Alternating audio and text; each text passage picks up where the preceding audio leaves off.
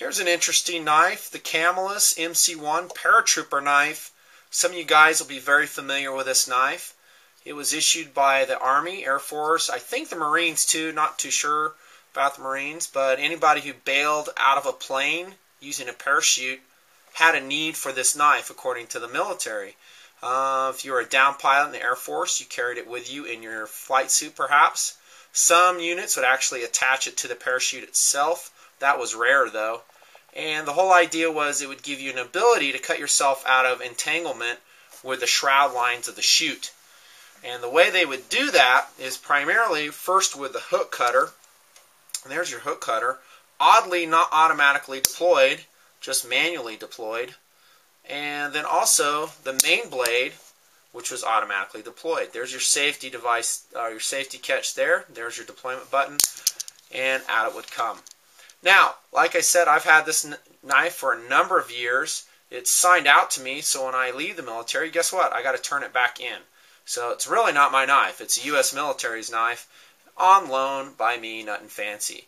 Uh, how do I like this knife? Let's just look at it in practical terms. First kind of cool is performance. And in terms of performance, the MC1 pretty much blows.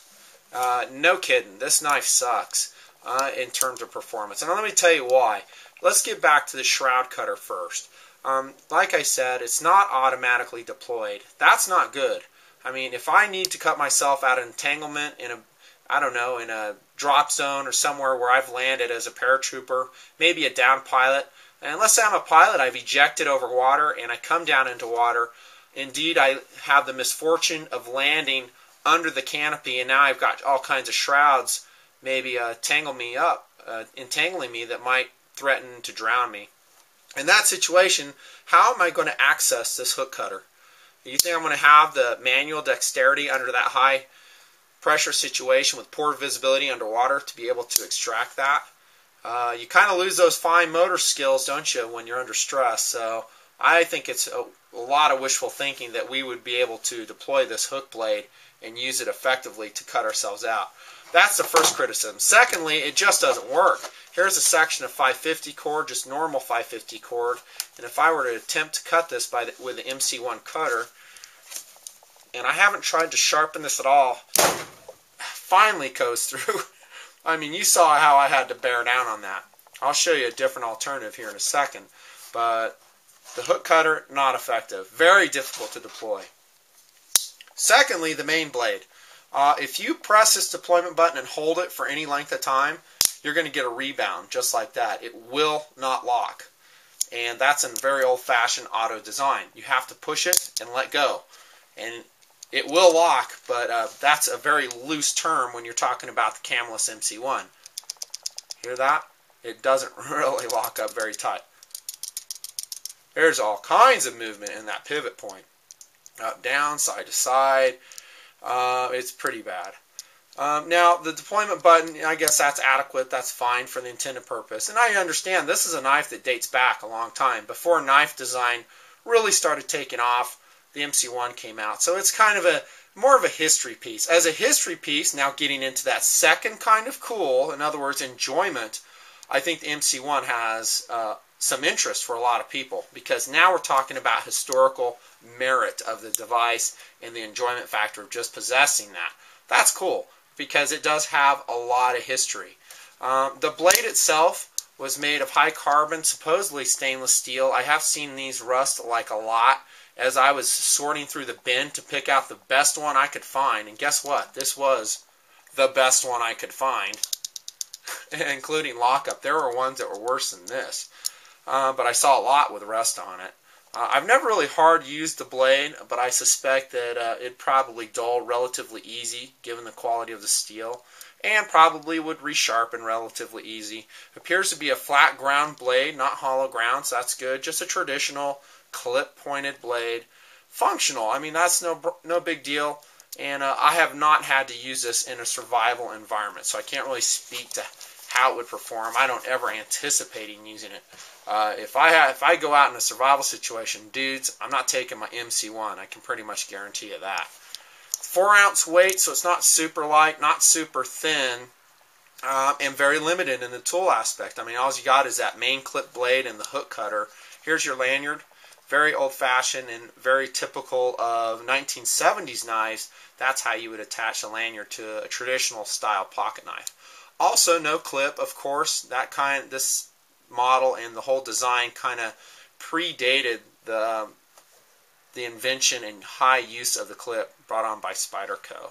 So I think a much better option if you are a paratrooper in, in like an airborne troop, maybe a pilot uh, in whatever service, Navy, Air Force, Marines, and you do indeed think a shroud cutter could be useful to you, which I think it is, and it's a good idea to have on your person in a bailout or a paratrooping situation, then I would highly rec recommend the Benchmade Rescue 5.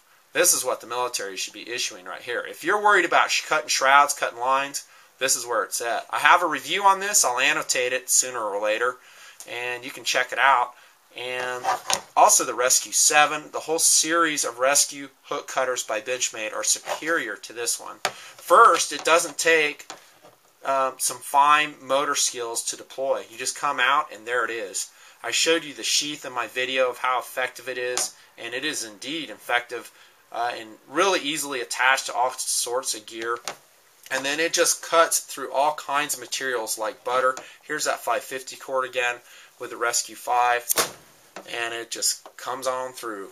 Easy. And there's a video out there by Benchmade showing how easy this zips through boots, belts, heavy leather, heavy nylon, and it just rocks. Vastly superior device than the old Camillus paratrooper knife, if you're to ask me. Cool history, but inferior.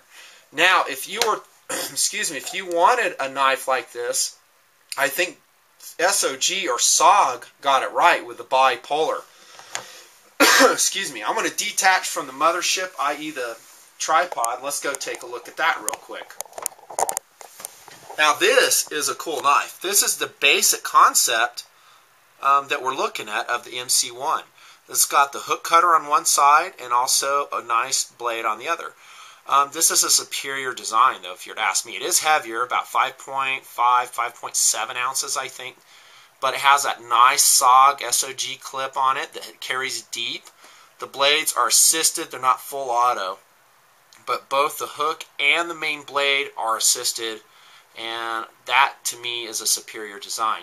Black handled, but it wouldn't be a hard thing if the military wanted to contract with SOG and make them I'm sure they could come in whatever color they wanted, maybe international orange, OD, uh, flat desert earth, whatever they wanted. So back to the tripod we go. And that is just a superior design to the MC1. But again, that's the first type of cool I'm talking about, performance. Um, I just think it's uh, not that great of a design. And I think the Bi-Polar would serve much better and if you're just, if you don't need the main blade, which I think is a wiser decision, go with the Rescue 5 or any sort of rescue. And there's other ones too. The Boker's got some rescue cutters that are interesting as well. But this one has the advantage of you don't have to deploy it. It's all ready to go. And if your hands are cold or shaking like they would be in that down pilot in the water scenario I gave you, this would still be an option. And you saw how it just zips through that 550 cord and in fact, this is what I carry with me on my person in my military job from now on. It's so light, why not? Quick look and a little bit of history on the MC1 Camillus knife. Very collectible, maybe not so effective in its purpose. That's just me. Your mileage may vary. Thanks for tuning in. Nothing fancy. We'll see you.